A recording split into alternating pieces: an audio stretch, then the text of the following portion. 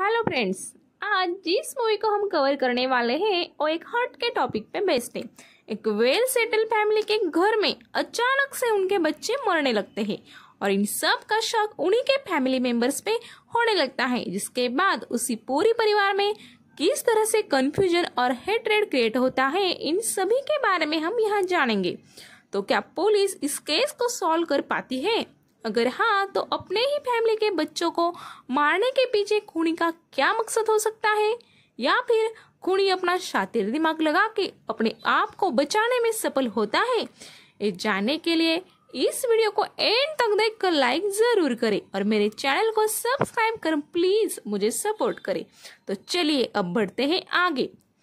कहानी के शुरुआत में हम दमन शहर में एक पुराना लकड़ी का घर देखते हैं, जिसका नाम बैरोट हाउस होता है। इस घर में, इस घर की मालकिन प्रमिला अपने दो बेटे अमित और अजय इनके संग रह रही होती है। छोटा बेटा अजय बैचलर होता है, मगर उसकी गर्लफ्रेंड हिना कभी कभी घर आती रहती है। वही बड़ा बेटा अमित शादीशुदा होता है। अमित की बीवी भावना और उनकी तीन बेटियाँ श्रेया, श्रुति, स्नेहा और एक बेटा मल्हार, ये भी वहाँ रह रहे होते हैं।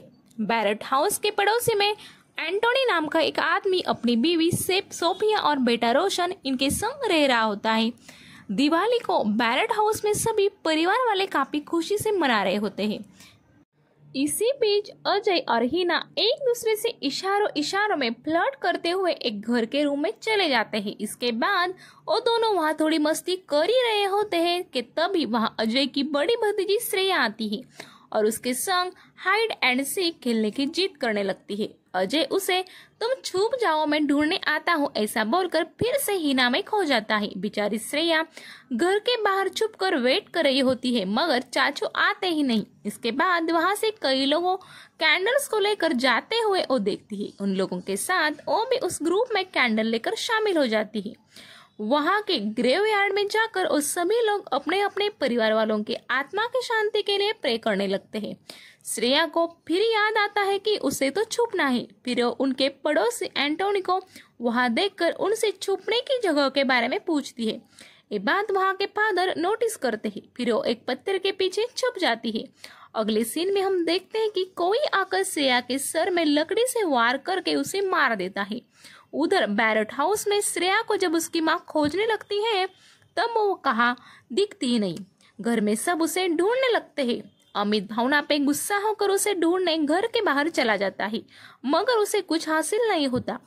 पूरी रात चिंता में बैठे बैरट फैमिली को अगले दिन वहाँ के फादर डर कर श्रेया की लाश ग्रेवयार्ड में पड़ी है ये बात बताते हैं। इसके बाद अमित भावना और मल्हार वहाँ पहुँचते हैं। अपने बेटी को ऐसी हालत में देखकर भावना टूट जाती है और वो श्रेया को गले लगाकर रोने लगती है। इसके बाद अमित के मना करने के बावजूद वो श्रेया के बॉडी को उठाकर अपने घर लाकर उसको एक कमरे में रखती है और उसे उठाने लगती है। पुलिस को खबर मिलने पर जब वो घर आते हैं, तब वो अमित को बॉडी को किसके परमिशन से आपने घर लाया, ऐसा सवाल करते हैं। तब अमित उन्हें भावना काफ़ी इमोशनल हो चुकी है और उसने ऐसा किया, ये बताते हैं। भावना तो पुलिस को बॉडी देने को ही राज़ी नहीं थी, क्योंकि उसे लगता था श्रेया कुछ वक्त में उठकर उससे बातें करेगी। इसके बाद पुलिस जैसे तैसे श्रेया के बॉडी को पोस्टमार्टम करने ले जाती है। अमित को किसी पे शक होने के बारे में पूछने पर वो पड़ोसी एंटोनी का नाम लेता है, क्योंकि उसके चहीते पपी को हमारे बेटे मल्हार ने मारा था और इस बात से एंटोनी काफ़ी गुस्सा था। ये बात तो बताता है, मगर पुलिस इस बात को इतना इम्पोर्टेंस नहीं देती। इसी बीच अजय घर लौटता है और पुलिस को देखकर वो वही छुप जाता है और फिर से आए रास्ते लौट जाता है। इस बात को एंटोनी अपने घर से देख लेता है। उस ग्रेवयार्ड में जाकर फादर से पूछने पर वो रात में यही एंटोनी से कुछ बात कर रही थी, ऐसा वो बताते हैं, जिसके बाद अजय का शक और फादर का ये बयान इसके आधार पर वो एंटोनी को वहाँ उठाकर लाते हैं। एंटोनी मर्डर के बाद से इनकार करता है और श्रेया सिर्फ़ छुपने की जगह पूछ रही थी, क्योंकि उसके चाचू उसे ढूँढने आने वाले थे, ऐसा वो बोली। ये बात तो पुलिस को बताता है। इसके बाद वो आज सुबह अजय घर से कैसे आपको देखकर चुपके से भागा, ये भी बताता है। फिर वो अजय और अमित में कुछ दिनों पहले घर के बंटवारे को लेकर झगड़ा भी हुआ था, ये बात भी बताता है। इसके बाद पुलिस अजय को भी उठाकर वहाँ लाती है, मगर उसकी गर्लफ्रेंड हिना भी वहाँ आकर अजय पूरी रात मेरे साथ मेरे घर ही था, ये बताकर उसे वहाँ से अपने साथ लेकर आती है। इसके बाद पुलिस एंटोनी से पूछताछ और दूसरों सबूतों में जुट जाती है। बैरट हाउस में सभी काफ़ी दुखी होते हैं। इसी बीच, अमित और भावना इनमें बच्चों को लेकर झगड़ा होता है। अमित सिर्फ़ मल्हार को पसंद करता था और उसको बेटियों से प्यार नहीं, इस बात को लेकर भावना नाराज़ होती है। बात को न बढ़ाने की सोचकर अमित मल्हार को लेकर सोने चला जाता है। दरअसल, अमित एक टैक्सी ड्राइवर होता है और उसे अपने बीवी भावना और पड़ोसी एंटोनी, इनका अपेयर है, इस शक होता रहता है। क्योंकि वो दोनों कॉलेज से एक दूसरे के दोस्त थे। ये बेटिया एंटोनी की ही है ये अमित हमेशा झगड़े में बोलता भी था अगले दिन बैरट हाउस में एक नया शॉकिंग इंसिडेंट घटता है। श्रुति स्टेप से गिरकर मर जाती है। उसके बॉडी को देखकर भावना को बड़ा मेंटल शॉक लगता है और रोने के बदले हंसने लगती है। इसी बीच वो ऊपर के खिड़की में अजय को देखती है। उस वक्त घर पर अजय, भावना, मल्हार और श्रुति ही थे। सारा शक अजय पे आता है और इसके बाद पुलिस अजय को कस्टडी में लेकर अच्छे से उसे इंटरोगेट करने लगती है, मगर वो खून की बात से साफ़ इनकार करता है। कुछ दिनों बाद मल्हार अपनी छोटी सिस्टर स्नेहा के साथ खेल रहा होता है। खेलते खेलते वो उसे पानी के ड्रम में डुबाने लगता है। ये नज़ारा वहीं से गुजरते हुए अमित देख लेता है वो स्नेहा को बचा लेता है और मल्हार को डांटने लगता है। मल्हार, मैं तो सिर्फ़ उसे नहला रहा था, ये बताता है। ये जवाब सुनकर अमित इस घटना को हल्के में ले लेता है और घर में किसी के साथ इसे शेयर नहीं करता। लेकिन इसके बाद वो मल्हार पर नज़र बनाए रखता है। उसे मल्हार का बर्ताव थोड़ा अजीब होने की शंका आती है। कुछ दिनों बाद एंटोनी अपने पूरे परिवार संग बैरट हाउस अपना कंडोलेंस देने आते हैं। तब मल्ला रोशन के साथ घर में खेलने लगता है। इसी बीच अमित उस पर चुपके से नज़र भी रखता है और एक समय पर वो देखता है कि मल्ला रोशन पर वहाँ पर एक चाकू से वार करने जा रहा है। ये देखकर वो मल्लार को पकड़कर दूसरे रूम में बंद कर देता है। फिर रोशन को एंटोनी को सौंप देता है। उन लोगों के जाने के बाद जब वो मल्हार को उस हरकत के बारे में पूछता है, तब वो बोलता है कि वो मेरे संग खेल नहीं रहा था, इसलिए मैं उसे मार रहा था। ये सुनकर अमित हैरान होता है। मल्हार का क्या करना, ये उसे समझ में नहीं आता। इसके बाद वो घर से सब नौकीली चीज़ें छुपा देता है। वो ज़्यादातर मल्हार को अपने साथ ही रखने लगता है। उसके लिए वो कुछ दिनों तक कोई टूर का भी काम भी नहीं लेता। इसके बाद वो घर से सब नौकीली चीज़ें छुपा देता है। वो ज़्यादातर मल्हार को अपने साथ ही रखने लगा था। उसके लिए वो कुछ दिनों तक कोई टूर का काम भी नहीं लेता है। मल्हार के दिमाग को दूसरी बातों में उलझाने के लिए वो उसे तबला बजाने में बिज़ी कर देता है। वो उसे दिन भर तबला बजाने बिठाता है। घर वाले भी अमित की इस हरकत से नाखुश होते हैं, मगर वो किसी को कुछ नहीं बताता और मल्हार को उसी में बिज़ी रखता एक रोज अमित को अपने घर पर पड़ोस से एक चीख सुनाई देती है। सोफिया की वो चीख होती है। दरअसल सोफिया अपने बेटे को मैगी बनाकर जब देने जाती है तब वो घर में किधर भी दिखाई नहीं देता। इसके बाद बाथरूम के ड्रम में उसे किसी ने मारकर फेंका और देखती है। चीख सुनने के तुरंत बाद अमित अपने बेटे को ढूंढता है। उसे पूछता है, क्या तुम एंटोनी के घर गए थे? जिस पर वो शुरुआत में ना बोलता है, मगर अमित के चिल्लाने पर वो सब सच सच बता देता है कि मैंने रोशन को पटक कर ड्रम में फेंक दिया। ये सुनकर अमित के पैरों तले ज़मीन फिसल जाती है। वो मल्हार से छुटकारा पाने के लिए उसे फांसी लगाकर मारने की भी कोशिश करता है। मगर उससे ये सब हो नहीं पाता। अगले दिन पुलिस एंटोनी के बयान पर अमित को अरेस्ट करने घर आती है। एंटोनी को लगता है कि अमित ने श्रेया के मर्डर का बदला लेने की ठान कर मेरे बेटे को मारा है।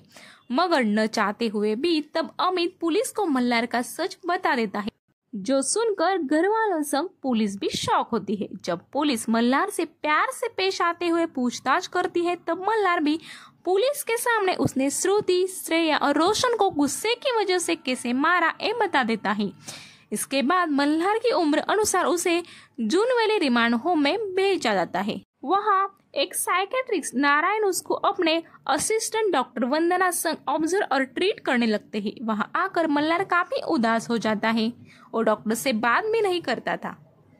इसके बाद डॉक्टर उसे वहाँ के बच्चे से दोस्ती करने भेजते हैं। उस लड़के संग मल्लार काफ़ी अच्छे से रहने लगता है। वो बच्चा रोहित शेट्टी का फ़ैन था। उसने अपने पड़ोसियों की कार्स को हवा में फटाके फेंक कर उड़ाया था। जिस वजह से वो यहाँ है, ऐसा हो मल्लार को बताता है। एक रोज वहाँ की वार्डन स्वेटर बनाने की स्टिक गायब है, एक बात नोटिस करती है। उसे लगता है कहीं मल्ला ने उस दूसरे लड़के को मारने के लिए तो उसे नहीं लिया ना। इसलिए जब वो उसके रूम को चेक करती है, तब उसे उस स्टिक का फ्लावर मल्ला ने बनाया है ये बात तो देखती है। और नारायणन को बता देती है, जब नारायणन मल्हार से तुमने क्यों चुराया पूछते हैं, तब वो कुछ भी नहीं बताता। इसी बीच डॉक्टर देखते हैं कि मल्हार ने अपने पीठ पर उस टीक के जख्म कर लिए हैं। ये बात देखकर वो हैरान होते हैं और उसके रूम में सीसीटीवी लगाने बोलते हैं। एक रोज जब अमित अपने बेटे से मिलने वहाँ आता है, तब मल्हार अपने पापा से कुछ भी बात नहीं करता और वहाँ से चला जाता है। डॉक्टर नारायणन भी मल्हार काफ़ी अजीब है और वो काफ़ी एग्रेसिव है, ये बताते हैं। मल्हार डॉक्टर से बात ही नहीं करता था, जिसकी वजह से एक रोज मल्हार के रूम में कुछ स्केच पेपर और कलर्स रखे जाते हैं। इसके ज़रिए वो कुछ ड्राइंग बनाता है और उन्हें देखता रहता है। इस बात को डॉक्टर वंदना कैमरा से देख रही होती है। कुछ वक्त बाद उन ड्राइंग को डस्टबिन में डालकर मल्हार वहाँ से निकल जाता है। जब डॉक्टर वंदना उन स्केचेस को चेक करती है तो उसमें एक छोटा बच्चा लड़कियों को मार रहा होता है और एक आदमी पास खड़े होकर एक देख रहा होता है। ये सब दिखता है। ये बात पुलिस को दिखाकर वो बोलते हैं कि मल्हार को शायद ये हरकतें करने कोई आदमी बोल रहा है। इसके बाद जब पुलिस छानबीन करती है, तब उन्हें एक बात पता चलती है कि अमित और भावना के बीच बेटियों को लेकर झगड़ा था। भावना और एंटोनी के बीच अपेयर है और बेटियाँ एंटोनी की ही है, ऐसा अमित को लगता था। अमित के पिताजी और एंटोनी के पिताजी दोस्त थे। कर्जे के चक्कर में अमित के पिताजी ने बैरट हाउस का एक भाग एंटोनी के पिताजी को दे दिया था, जहाँ एंटोनी रहता था। अमित उस घर को दुगनी कीमत देकर खरीदना भी चाहता था, पर एंटोनी मान नहीं रहा था। अमित अपने टूरिस्ट बिज़नेस की वजह से लंबे समय घर से बाहर रहता था। इसलिए उसे भावना पर शक था, मगर भावना हमेशा इस बात से इनकार करती थी। फिर पुलिस को भी ये लगने लगता है कि बच्चे को टॉर्चर कर उसके हाथ तो शायद अमित ये सब करवा रहा होगा।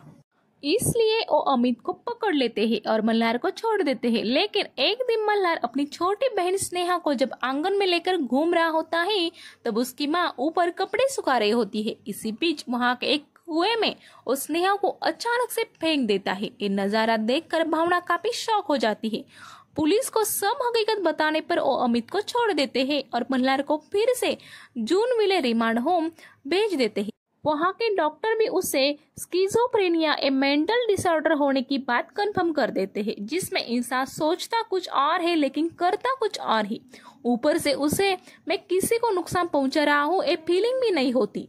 डॉक्टर की माने तो शायद अमित और भावना के रोज के झगड़ों की वजह से मल्हार की ये हालत हुई होगी।